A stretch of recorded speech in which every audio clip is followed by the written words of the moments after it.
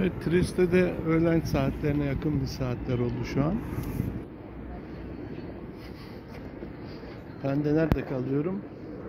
Şu inşaat yapılan binanın hemen arkasında. Çok güzel bir hostel.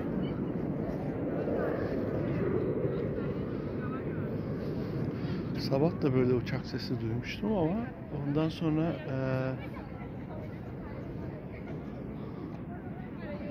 ne olduğunu anlamamıştım. Dışarı çıktıktan sonra dışarı çıktıktan sonra arkasından iki tane uçak uçtuğunu fark ettim.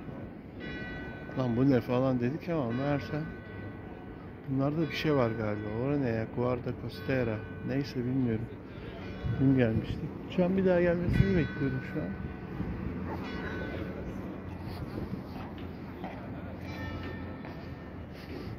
Bir bayram gibi bir şey var herhalde. Bak gemiye bak abi. Ha işte geliyor uçaklar.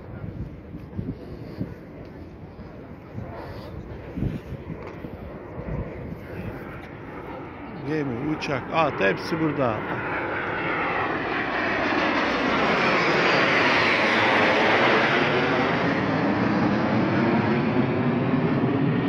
Bu 5. 6. tur falan oldu.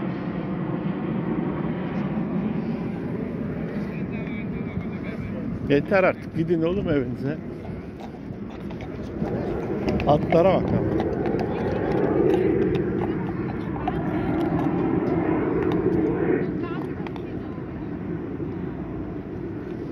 Neyse bilmiyorum.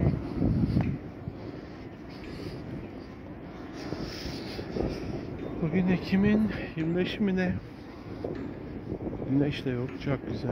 Hava hafif bulutlu gibi ama dün yağmur yağdı ama. Yani ben yoldaydım. Ama bugün çok güzel bir hava. En sevdiğim havalardan biri. Sıcaklık da herhalde. İşte geliyor.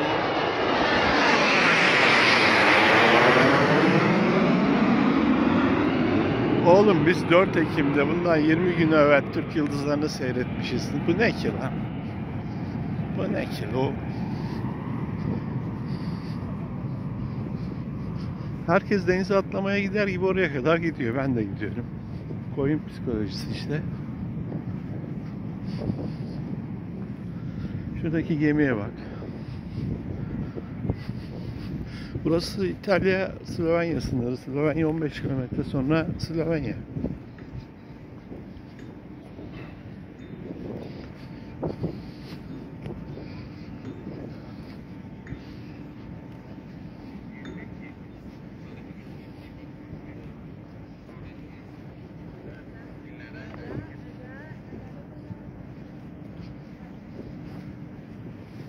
Durdurayım çünkü pek bir şey yok. Oradan çekelim. İşte uç nokta burası.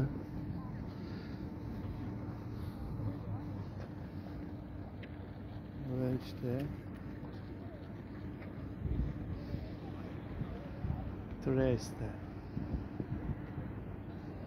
Burası dün baktım 836 bin nüfuslu bir yer. Yani Adana'nın onda biri gibi bir şey. Ama yer gelelim gezilecek yer açısından veyahut kalite açısından bizden onda bir değil yani küçüklük büyüklük orantısı açısından söylüyorum. En az 5 kat daha kaliteli aynı zamanda mağazalar, dükkanlar, ufacık yer. Kıçı kadar yer böyleyken bizden ne halt olabilir ki hiçbir şey olmaz. 130 kilometre civarında da Venedik var.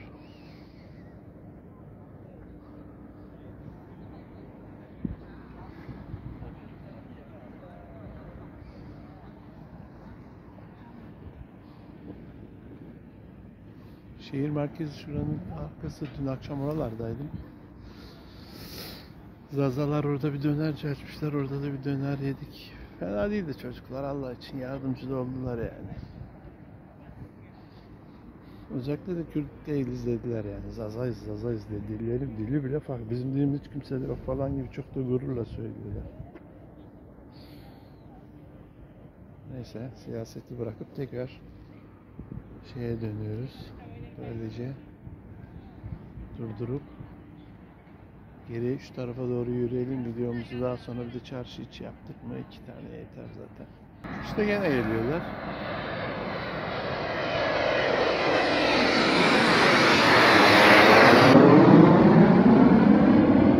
Biz gidemeden gelmiş onlar yeter bu kadar zaten. Burası liman olmasına rağmen şöyle gemi yaklaşmasına rağmen deniz samimi söylüyorum çok güzel duruyor. Çok temiz yani. Belki Ekim ayının falan verdiği bir şeydir. Ama gene de bilmiyorum. Çok şey, çok güzel duruyor.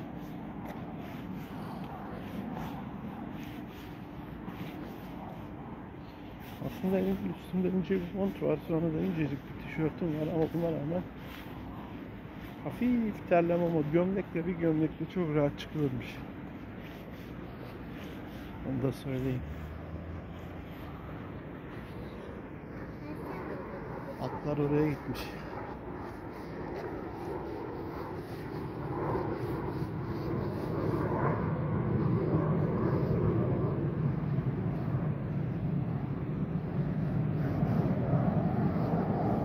Aslında ben bugün Slovenya tarafına geçecektim ama son anda gelmişken bir gün daha dedim. Zaten kaldığım İtalya'da bir gün de bu ikinci gecem olacak.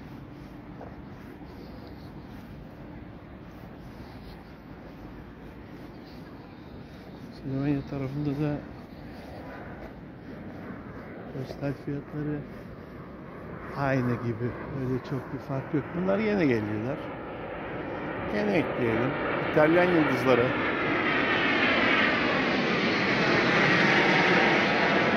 Oğlum şuna bir bomba atın heyecan öyle olsun. Böyle boş boş geçiyorsunuz. Ne lan bu? Yazık lan. Süratli de değiller ha.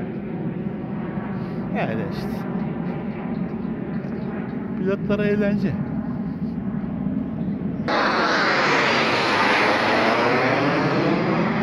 Yine geçtikleri için bir daha çekeyim dedim yani. Üzerinden geçmeseler çekmem ya.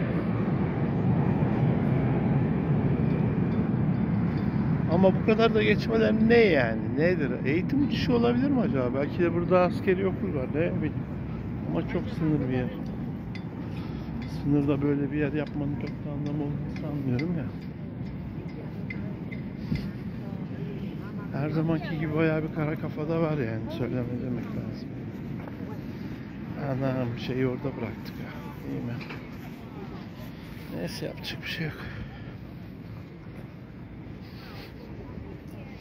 Hostel yakın. İleride gider alırız. Sahibi böyle. Ben 2009'da gelmiştim buraya da. Bu arabayı da Avrupa turumu yaptığım zamanlar. Dan kalma bir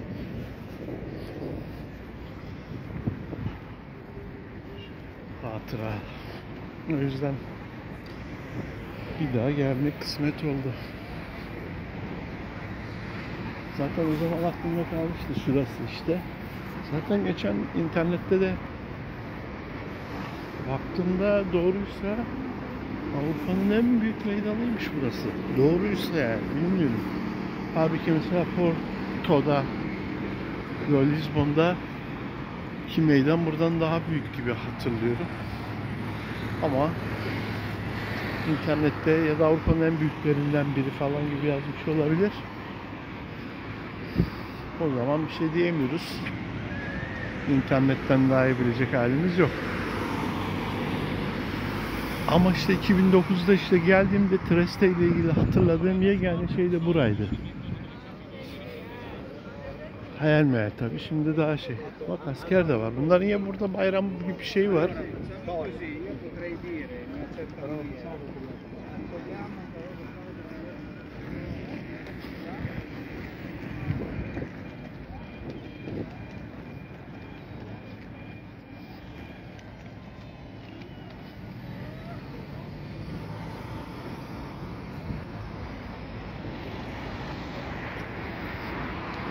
Aslında çok uzaklara gitmeden şeye gidip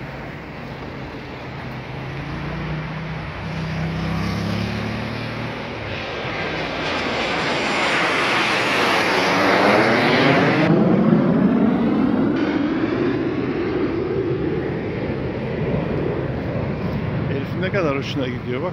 Tabi. Sırıttı bile. Ne de sağlam İtalyan. İki tane uçak. Herkes için kendileri açısından bir gurur vesilesi. Oysa benim için hiçbir anlamı yok. O zaman ne netice çıkıyor? Ben İtalyan değilim. Ah ah ah ah.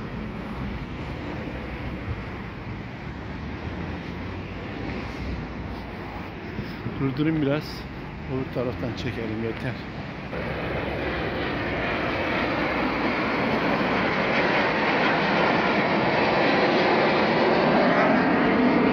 Şu Mercedes uçaklardan daha değerli gibi bana öyle geliyor. Şuna baksana elektrikli herhalde. Geminin sahibi olabilir. Güzel bir yaklaşım değil mi? Geminin sahibi gemisini bekliyor. Kontrol ediyor ya da.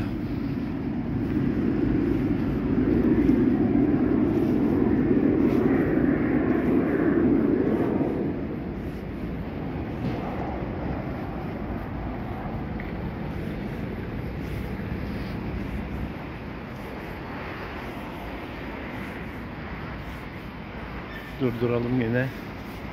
Yeter. Bak orada şey var. Esas. Gene ses var. Görün.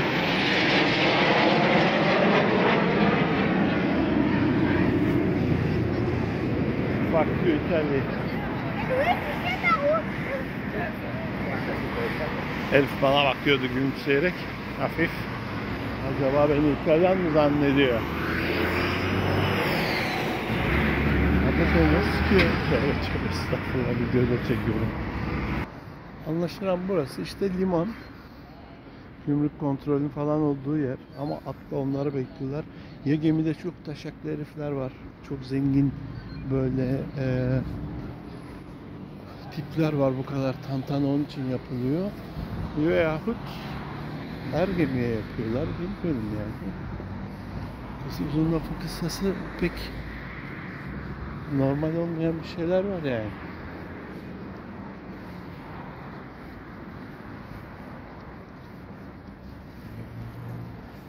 Bisiklet yolu.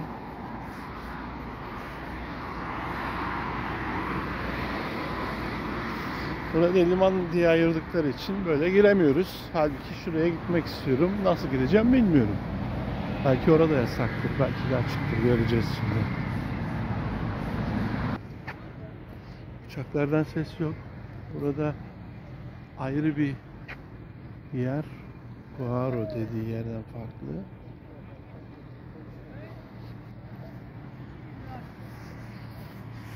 Ama millet herhalde oraya da geçiş yapabiliyor. Biz de oraya doğru bir geçiş yapalım. Teknelerin olduğu yere geldik.